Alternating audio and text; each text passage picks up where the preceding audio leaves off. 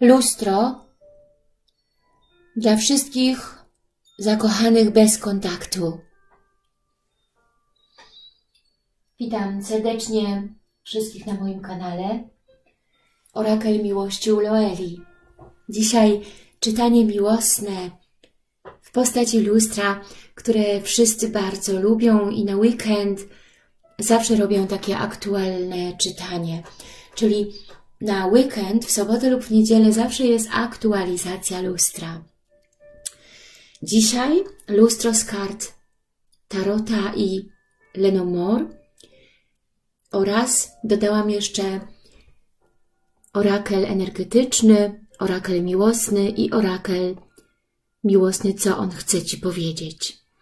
Więc mamy pięć kart, na pięć różnych talii kart, które tutaj dzisiaj Państwu pokażę. Kochani, oczywiście dziękuję Wam za Waszą obecność, za Waszą wierność, za to, że ciągle tutaj zaglądacie. Cieszę się niezmiernie.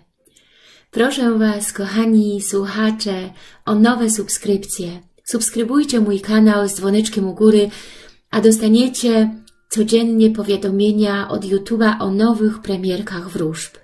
Wróżby kolektywne są codziennie na moim kanale, jak również horoskopy, rytuały, wskazówki, porady.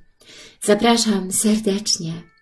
Proszę również o lajki, że lubicie te tematy i napiszcie mi również w komentarzach, czy te wróżby z Wami rezonują, z Waszą historią miłosną, z Waszymi rozterkami, problemami. Potrzebujący, którzy nie wiedzą co dalej, są zwątpieni, zapraszam Was na wróżby indywidualne.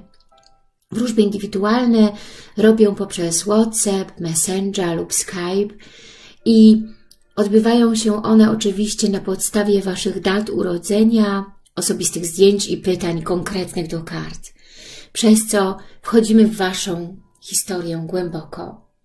Kochani Państwo, piszcie do mnie na e-maila. Mój e-mail znajdziecie w filmiku, pod filmikiem, w komentarzach i podam Wam warunki takich wróżb indywidualnych. A teraz, kochani Państwo, zacznijmy już nasze dzisiejsze lustro. Po stronie prawej jesteście Wy, czyli osoba pytająca. Po stronie lewej jest Wasza osoba ukochana, o której myślicie, za którą tęsknicie. W środku są karty Lenormanda i mówią one to, co Was wspólnie łączy. Jakie myśli, uczucia i zamiary Was łączą. Zaczynamy od Was, Wasze myśli. Dziesiątka buław. Dziesiątka buław mówi o tym, że coś zakończyliście, zakończyłyście, że odeszłyście i próbujecie zbudować coś nowego. Zakończyliście jakiś etap tego związku lub chcecie odejść. Widzicie, że tutaj idzie kobieta z tobołkami spakowana, wyrusza w świat, w nową perspektywę idzie nową drogą, patrzy na przyszłość, że zacznie coś nowego, czyli tutaj tak jakby się skończyło coś i wy w myślach macie to, że właśnie jest ta relacja teraz zakończona i że wy chcecie jakby odejść emocjonalnie, mentalnie, psychicznie, uczuciowo chcecie odejść od tego partnera, od tego związku, od tych problemów, od tych spraw, które Was obciążały. Dziesiątka buław, kochani, to też jakby to, że odchodzicie z tych wielu blokad, z tych wielu turbulencji, które były i zaczynacie jakby na nowo swoje życie. Być może rozwód, no na pewno jakieś turbulencje zerwana relacja. Dziesiątka buław mówi o tym, że jakaś, jakiś etap tej relacji doszedł, dobiegł końca. to macie w głowie, o tym myślicie nieustannie, że coś się zakończyło. On natomiast, wasz partner lub wasza osoba ukochana, niezależnie od płci, ma tutaj kartę siły. Karta siły mówi o tym, że mm, jakby on być może zbiera swoje siły, by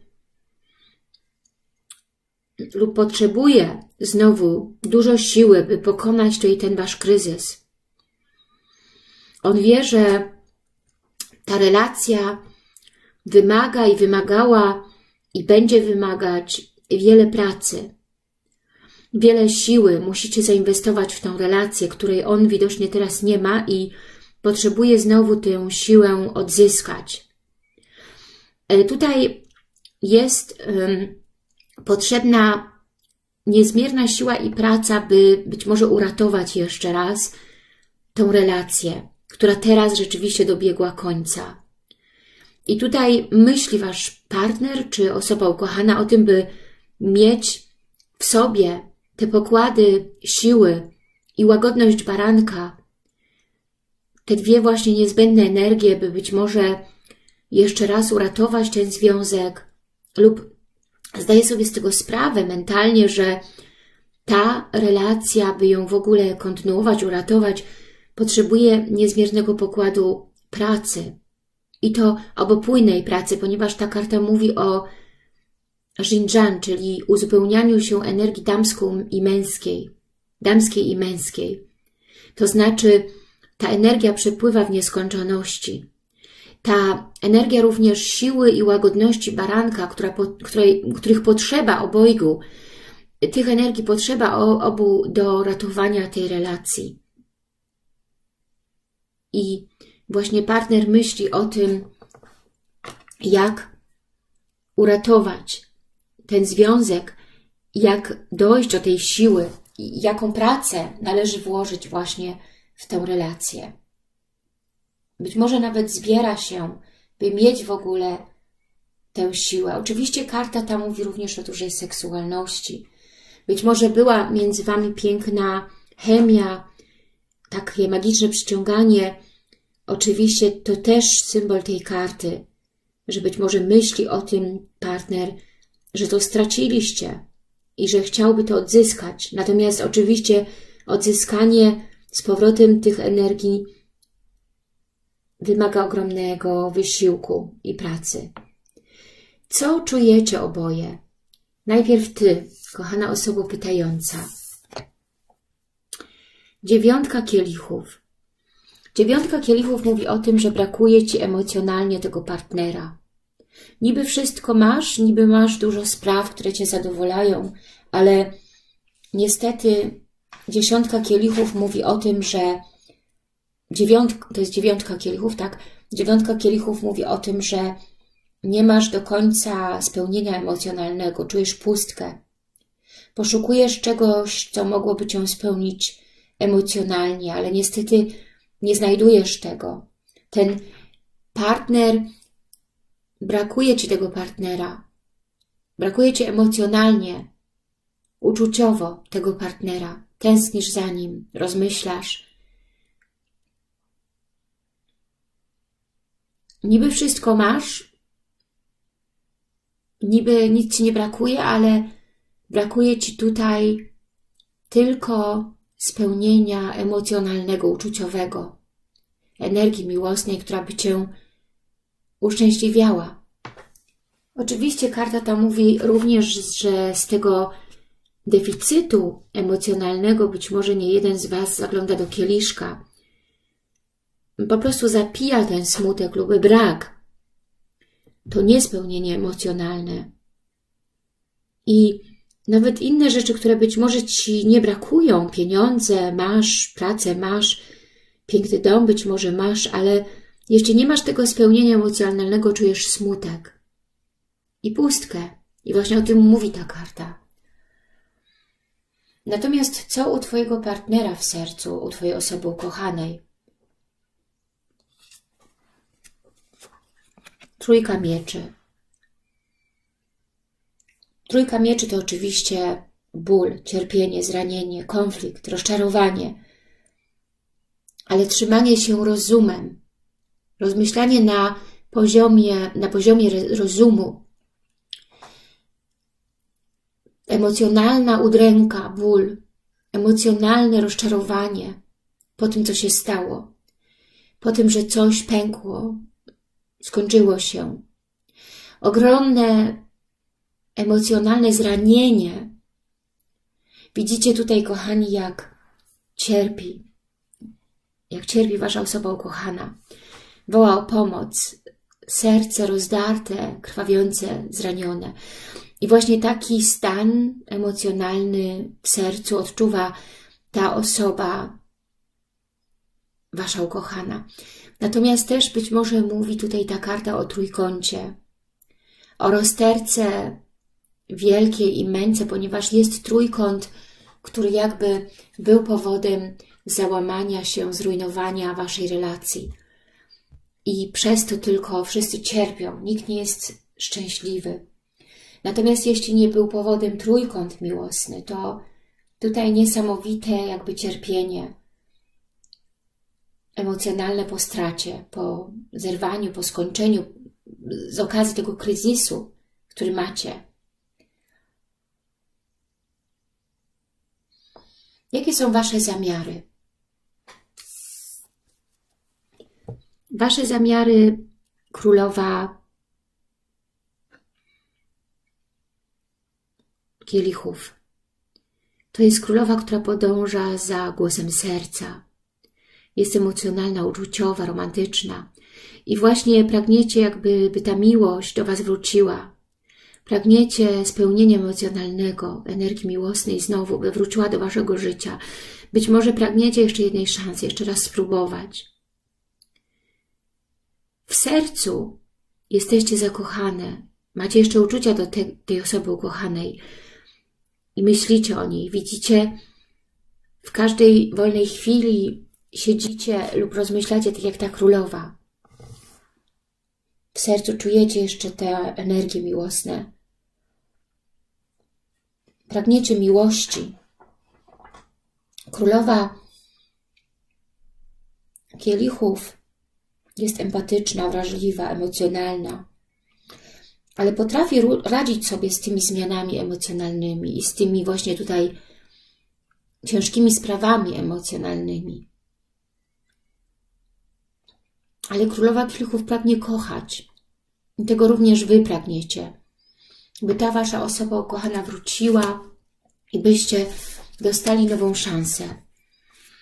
Tutaj na spodzie, w przełożeniu kart tarot, tarota, tak, widzimy as pentakli, czyli pragniecie jeszcze jednej stabilnej, rzetelnej szansy dla tego związku, dla waszej miłości, która zasłużyła jeszcze raz na jedną próbę. Pragniecie czegoś stabilnego i nie chcecie tego puścić. Więc pragniecie na pewno jeszcze jednej szansy z tą Waszą ukochaną osobą. Takie są Wasze zamiary. Jakie są zamiary Waszej osoby ukochanej?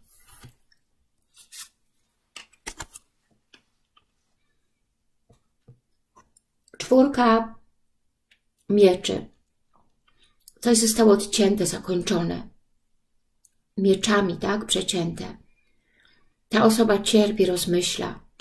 Jakby emocje, uczucia odłożyła na bok i myśl rozsądnie, rozumem w głowie, co ma zrobić. Chce przemyśleć spokojnie wszystkie sprawy, co ma zrobić, jakie plany, jaki plan działania jest ważny.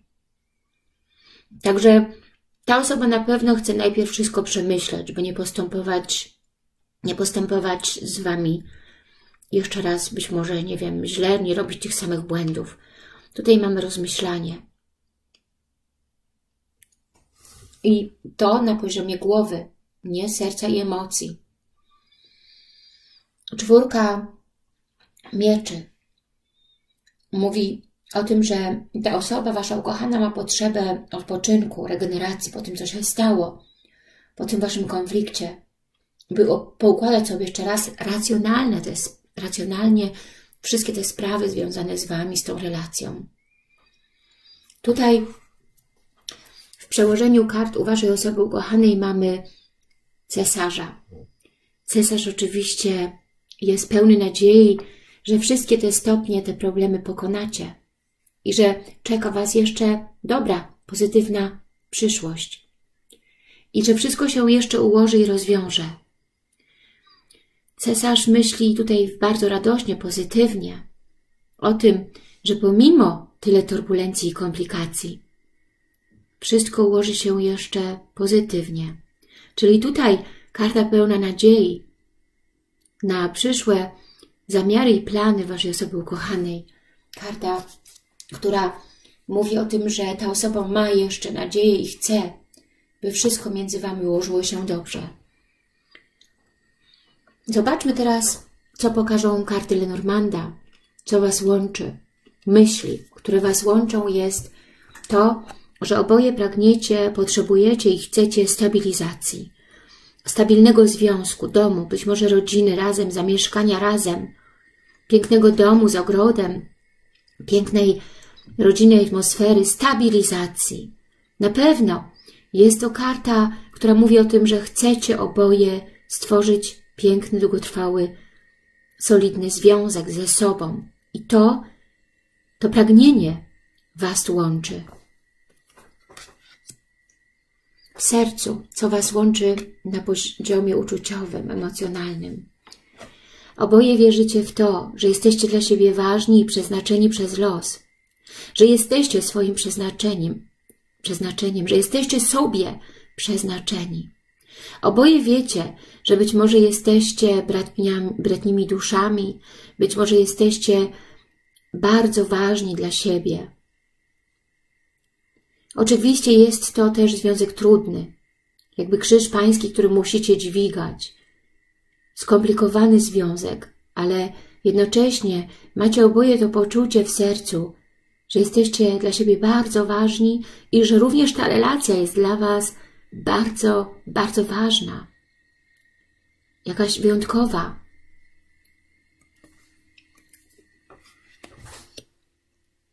Tacy oboje jesteście dla siebie ważni i to właśnie macie w sercu. To Wam właśnie w sercu tu doskwiera wręcz, że nie możecie dlatego puścić tej relacji, bo wiecie, że jest to relacja ważna. W zamiarach. W zamiarach na razie jesteście oboje bardzo, bardzo zranieni. Jakbyście chcieli oboje na razie zakończenia tego związku. Być może oboje stwierdziliście, że lepiej by ten związek zakończyć, ponieważ się ranicie nawzajem. Jest jakaś blokada w obojgu z Was przed spotkaniem, pisaniem, dzwonieniem, przed kontaktem. Każdy tutaj jakby z Was czuje się bardzo zraniony, że to tak nagle, raptownie, nieoczekiwanie się zakończyło. Natomiast w przełożeniu kart Lenormanda mamy, że oboje pragniecie jeszcze jednej szansy i pragniecie, by los pomógł Wam i to wszystko rozwiązało się jeszcze dobrze. Karta nadziei, karta tego, że los ma przynieść Wam jeszcze dobre rozwiązanie tych wszystkich turbulencji, tych wszystkich trudnych spraw. Oboje, pomimo tego, że jesteście zranieni, pomimo tego, że cierpicie w każdy jakby w swoim tutaj załuku, ale oboje macie jeszcze nadzieję, że wszystko będzie dobrze, że się wszystko dobrze, pozytywnie ułoży. Że bociany przysłowiowe, metaforyczne bociany przyniosą Wam jeszcze coś pięknego, gdzie wyjaśnią się wszystkie sprawy trudne, zawikłane, że te wszystkie chmury przejdą i nastąpi znowu słońce, piękny czas, gorąca miłość, piękne, pozytywne wibracje, emocje.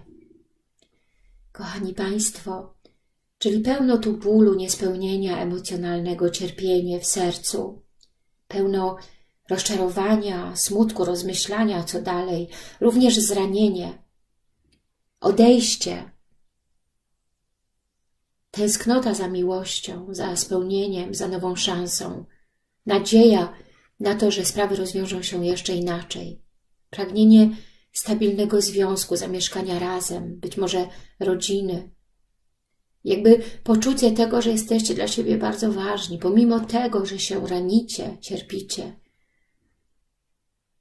Pełno kart, które są pełne bólu, rozczarowania, smutku, tęsknoty, niespełnienia emocjonalnego, ale również na końcu nadzieja, że jeszcze to się uda, że jeszcze się to rozwiąże, że jeszcze coś się wydarzy, co uratuje być może ten związek i da Wam jeszcze jedną próbę, jeszcze jedną szansę.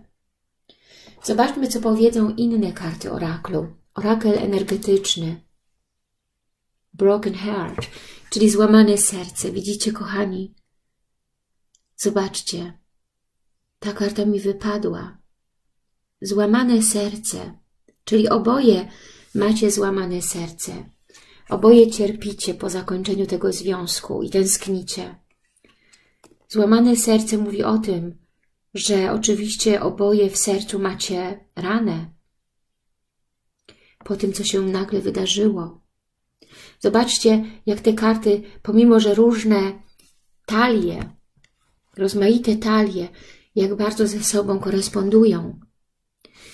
Wasz partner lub osoba ukochana miała złamane serce, krwawiące, bolesne. Tutaj ta karta, zupełnie inny orakel mówi o tym, że oboje macie złamane serce, oboje cierpicie.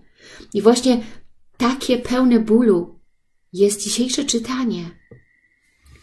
Pełne bólu, aż czuję tą energię, pełne smutku, rozczarowania, trosk, czy jeszcze w ogóle nadejdzie nowa szansa. Zobaczmy orakel miłosny. Versöhnung, czyli pojednanie, zgoda. Tutaj jest nadzieja, że będzie jeszcze zgoda. Someone from your past is returning to your life, czyli ktoś z przeszłości powraca do waszego życia. Tu ta karta obiecuje, czy daje nam nadzieję, że ktoś z przeszłości, właśnie za kim tęsknicie, z którym nie macie teraz kontaktu, jest kontakt zablokowany, urwany, przerwany, że ktoś powróci jeszcze do waszego życia, ponieważ tak samo cierpi jak wy i tak samo pragnie pojednania jak wy. Zobaczmy teraz orakel miłosny przekazy z serca, co partner chce Wam teraz powiedzieć i przekazać. Ten partner, o którym myślicie, za którym tęsknicie. Erfolg, czyli sukces. Hab Vertrauen. Es wird ein Happy End auf der ganzen Linie geben. Czyli miej zaufanie. Będzie szczęśliwe zakończenie na całej linii. Czyli przyjdzie jeszcze to szczęśliwe zakończenie, na które czekacie, happy end. I ufajcie, że jeszcze będzie między wami coś dobrego, że jeszcze wydarzy się coś pięknego, że przyjdzie jeszcze jakaś szansa, jakaś zmiana. Pomimo tego cierpienia, smutku, tęsknoty, rozczarowania,